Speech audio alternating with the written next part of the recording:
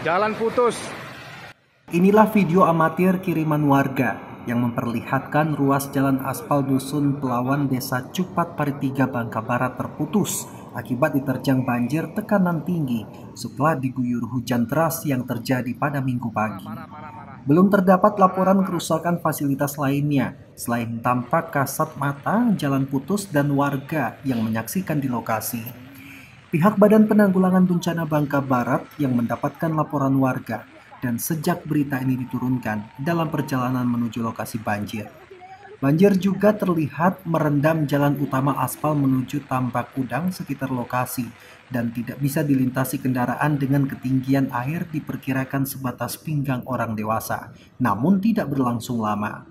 Sejumlah warga terlihat di sekitar bongkahan aspal jalan yang terkelupas dan hancur akibat terjangan banjir setelah surut. Selain akibat hujan, faktor lain penyebab bencana banjir mudah terjadi diduga akibat aktivitas tambang, bekas kolon tambang yang ditinggalkan begitu saja, dan pembalakan hutan. Dari Bangka Barat, Hamdani, TVRI Bangka Belitung melaporkan.